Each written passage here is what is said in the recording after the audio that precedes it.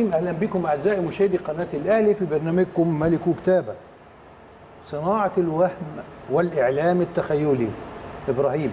أهلا بيك يا باشمهندس أهلا بيكم أعزائي المشاهدين. وموعد يتجدد معكم والحلقة 660 من برنامجكم ملك وكتابه حلقة الاثنين حلقة مهمة جدا تتعرض لكثير من هذه النماذج التي أشار إليها المهندس عدلي سريعا. سريعا كده؟ آه. الموضوع بقى يعني مثير لل- للسخرية أن الكثير من الأخبار لا أساس لها من صحة بل الكثير من الأوضاع اللي بتستقر يعني عملية صناعة النجوم ها؟ وإن إحنا نخليها تتحط في حتة تانية أو هدم النجوم يا صناعة النجوم يا هدم النجوم مفيش حاجة واخدة حجمها. وبعدين نزعل لما اللعيبة آه، تبتدي آه، يعني تتصرف بطريقة وكأنها صدقت هذا الوهم. وكأنها صدقت الوهم. عارفين لما كنتوا بتتفرجوا على الماتشات تلاقوا الإعلان التخيلي؟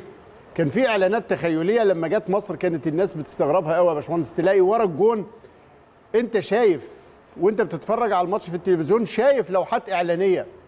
لأي سلعة وبعدين تعتقد أو فعلا أنت شايف إن هي إعلان. حاجة خشبية موجودة وعليها الإعلان فجأة تلاقي اللعيب راح داخل فيها وما حصلوش حاجة. إلى أن اكتشفت الناس إن ده إعلان تخيلي بصور تخيلية. للأسف جزء كبير من الإعلام الرياضي تحول إلى إعلام تخيلي. إزاي تكذب الكذبه إزاي تطلق الإشاعة والناس تبني عليها وتنشغل بيها وتتبني عليها آراء.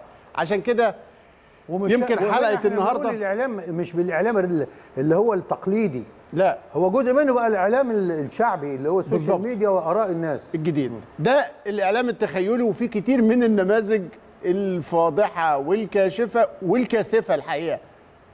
هنتعرض لها النهارده مع حضراتكم في هذه الحلقة وهذه أبرز عناوينها.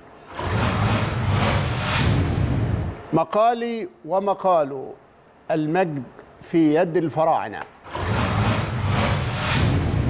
الغربال والعشرة ممكن. بعظمة لسانه هو الكلام عليه جمرك. الشموع الحمراء مكاوي عم الكباتن. أسرار الملك جده حين يعتزل. وأخيرا مجلتنا من أربعين سنة.